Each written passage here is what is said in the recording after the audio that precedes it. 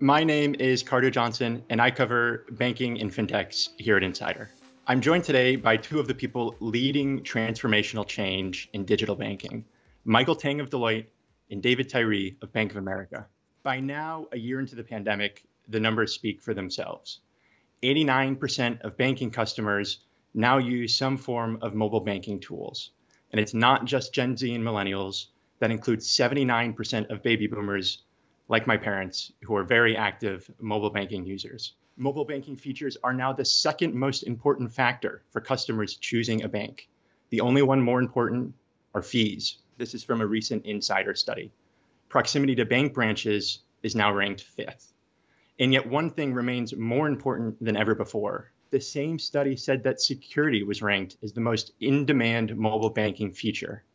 We've all seen the news about data breaches across tech companies, and financial firms.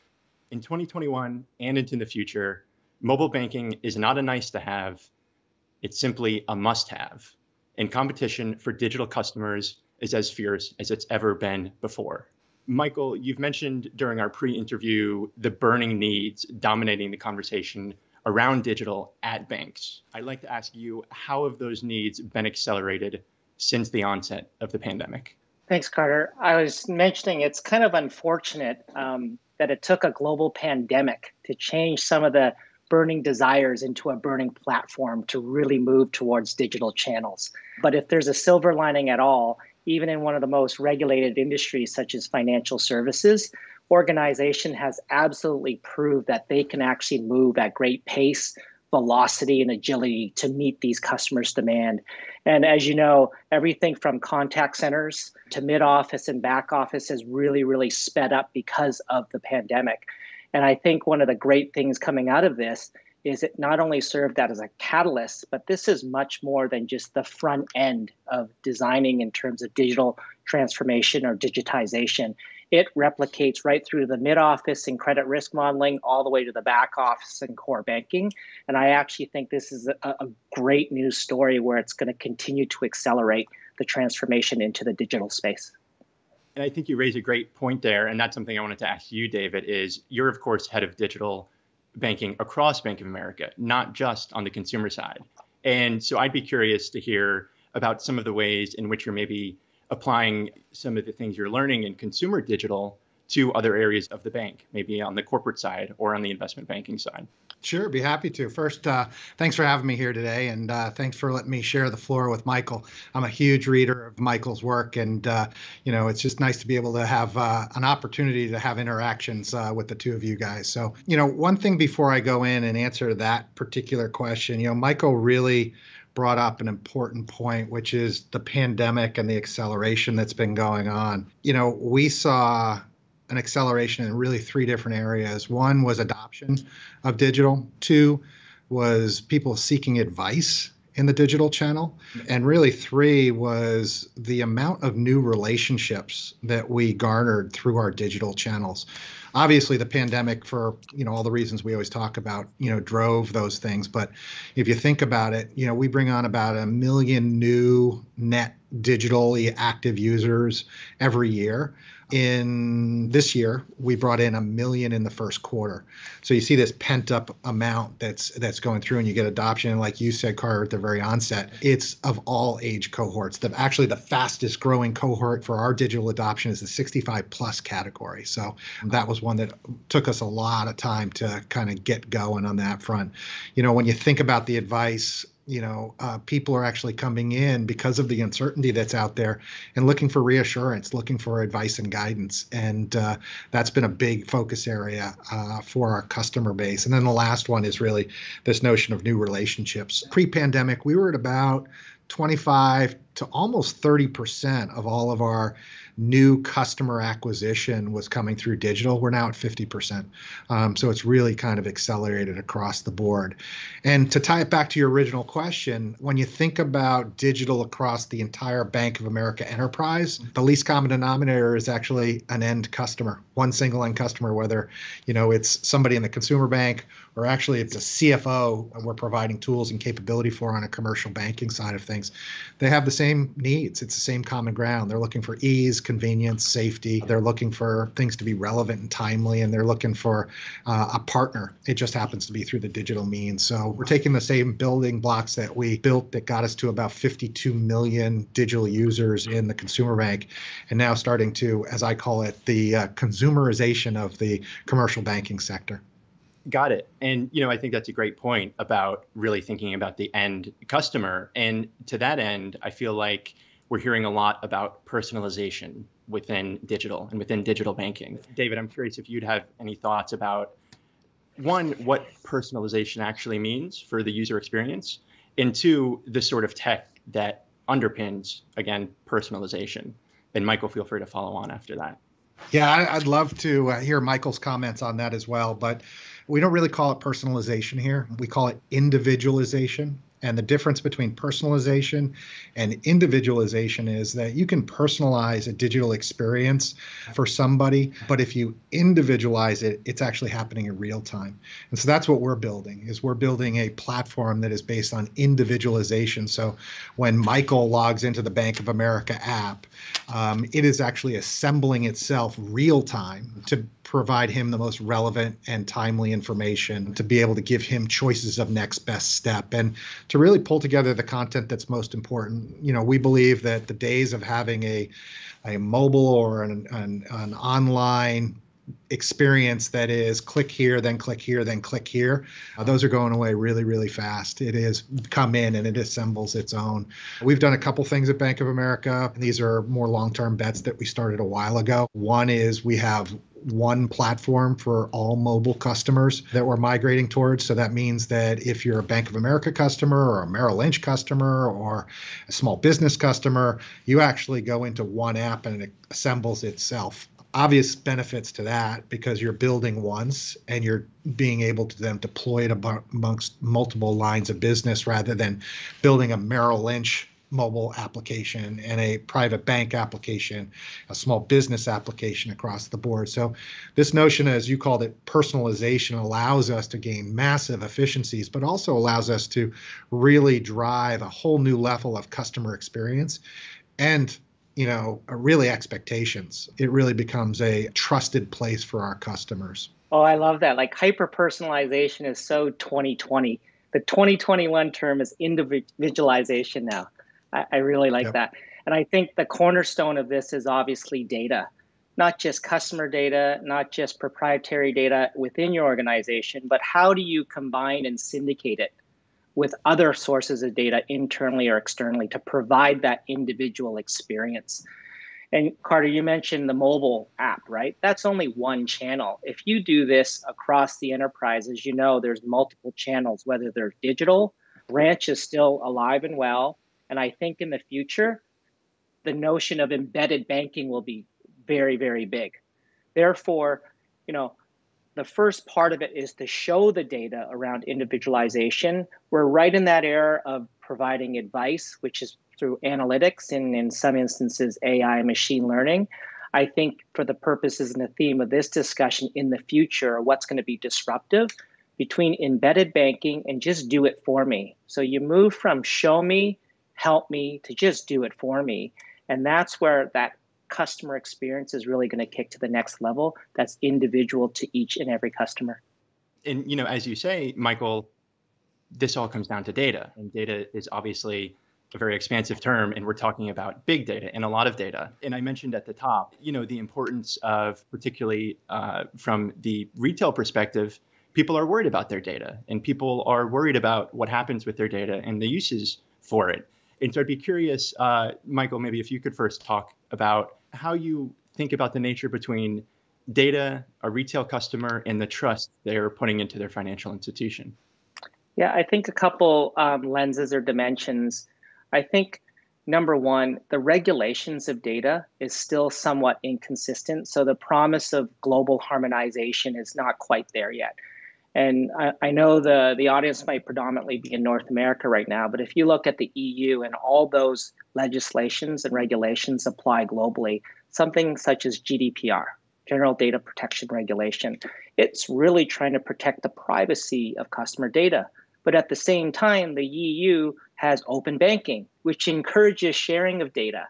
And it's up to both the customer consent and the incumbents to go figure out what that right balance is. And when you marry that with the ambitions of whether it's individualization or personalization, you always have to balance that cool versus creepy aspect. As a consumer, it could be really good and reduce the friction of doing things for me. But at the same time, Carter, to your point, is wow, where did they find that data? That's a little creepy. So I think it's going to be a constant balance between regulators and the amount of data and how you actually use that data. Got it. Understand. And, you know, David, kind of to that point as well, correct me if I'm wrong, but I think it's something like 66 million unique experiences, 66 million touch points at, at Bank of America. And I'm curious how you think about the conversation around data and customer data and what that means kind of sitting here in, in the US. You know, that's exactly why I love reading Michael's stuff because he just nailed it to a T on, you know, this whole notion of data. And the the other side to what Michael said, just to build on it a little bit, is the experience the customer gets, the feeling a customer gets when you use the data right or when you do the data wrong. And that's one of the biggest drivers out there, Carter, is to keep a very close eye on that because it has to be relevant and timely. If you come into the Bank of America site and you're looking to do something, I should be using that data, both internal data as well as what Michael said, outside data, to be able to say, here's something that's relevant and timely for you. And if you get that wrong, the experience is no good. So it's a tightrope that you walk. Now, one thing that we have also been thinking about and deploying over the last six months or so is actually using data that is captured based on customer input. So we have something called a life plan and it essentially asks what's important to you? And michael might be on and say well it's family and it's home that's important to you. We're actually capturing that data not rear view looking data but what michael really is what's important to him. And we're actually combining that into the digital experience. So data is not only outside data looking the review mirror transaction based data looking the mirror you got to incorporate forward-looking aspirational data. And you know, we've got about three and a half million people who have used LifePlan. Our SAT scores across the bank and digital are in the, you know, 83, 84 range. For those people who are using LifePlan and we're leveraging that aspirational data, it's 96% client SAT. So there's there's some real learnings that are there. So to back to your question, yes, we have 66 million uh, customers here, and our job is to make them feel at the end of the day that the experience was in their best interest.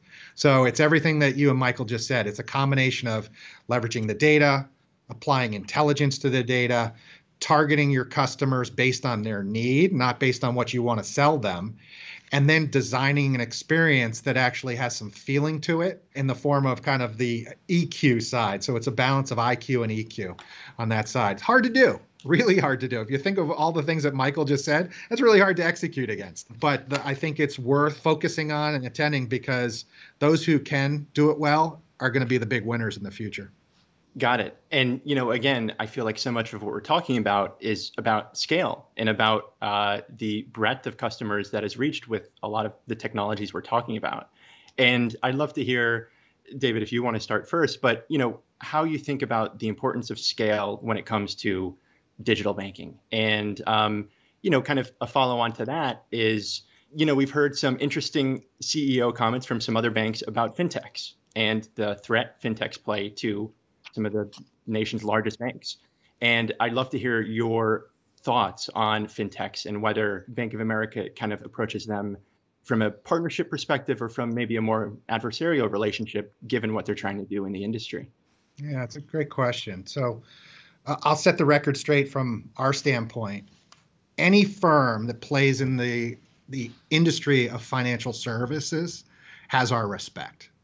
Michael said it at the onset most regulated industry out there, maybe, you know, or at least one of them. Massively complex. The risks are so great. You know, when you start talking about sizes of customer bases like Bank of America at 66 million, the scope is enormous on all those things. Well, everybody who plays in financial services has our respect. Every player doesn't matter if they're a fintech who started up three days ago or they're one of the big bank competitors.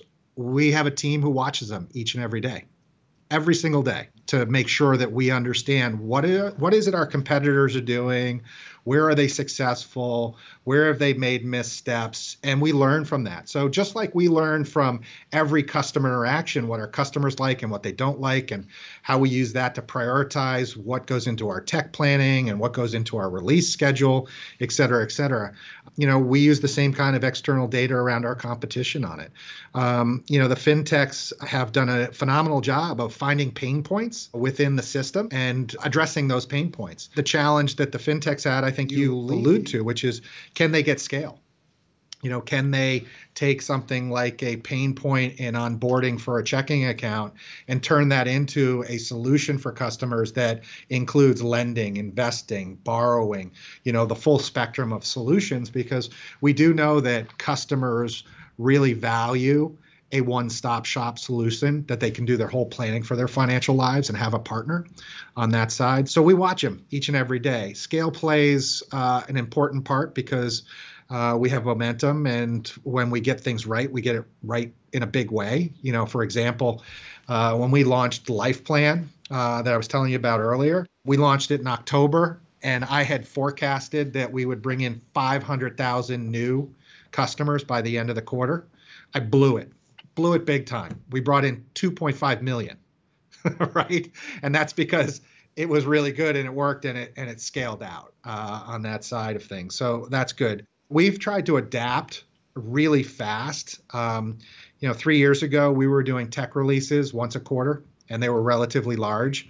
And when you do large tech releases, you get a lot of that who where who moved my cheese with customers saying you change this you change that. We decided to switch gears on that. We now do a, a tech release every 28 to 32 days and we will put in 2000 plus feature enhancements to our digital properties every single year. So we're able to move much quicker uh, than we ever have before because you know there are a lot of players out there who can move quickly. So got it. And Michael, I'd love it. Yeah, jump in.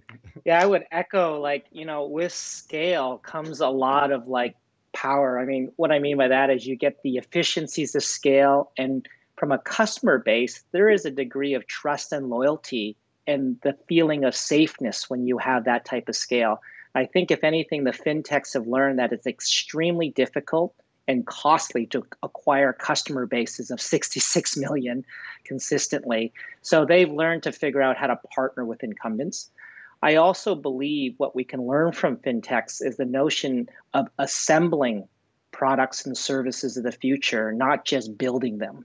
It doesn't necessarily need to be in house, it could be external with ecosystems. But with today's technology and usage of APIs, I believe to get that velocity coupled with scale, you're assembling things in a much more modular fashion. And if something changes, whether it's customer demand, regulations, a new competition comes into play, new technology, they're like Lego blocks where you can resize and re reshift things. And although fintechs obviously have innovated and disrupted financial services, I'd probably be also be fearful at looking outside of the industry I believe industry lines are blurring. So, as a customer, although we have this traditional taxonomy of financial services, technology, or telcos, autonomous driving manufacturers have more driver data than insurance companies. And insurance companies use traditional actuaries with risk modeling pools. Companies have autonomous cars have petabytes of data in individualized manner to underwrite insurance policies way more accurate than risk pooling.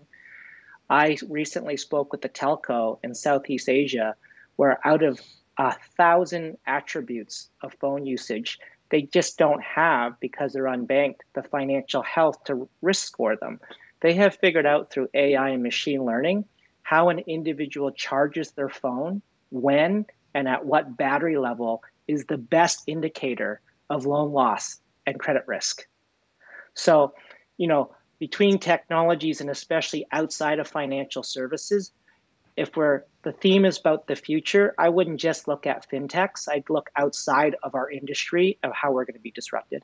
Michael brings up a really good point on the scale and looking outside and and I think it you know if you're a good business person in general you're going to look at not only your direct competitors but potential future competitors. And as michael indicates outside this to kind of get some lessons learned. And you know data is an important one uh, for that. So you know michael also brought up the scale and when you get it right i'll give you a couple examples here.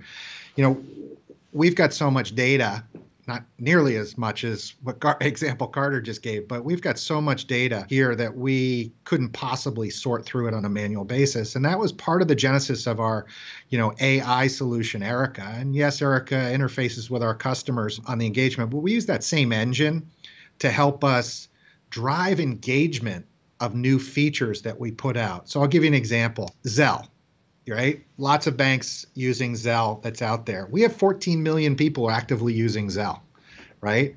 And our ramp up was extreme. And how did we do that? Was we went in there and we leveraged our AI capabilities to be able to say, oh, look, you know, Carter keeps on writing these checks.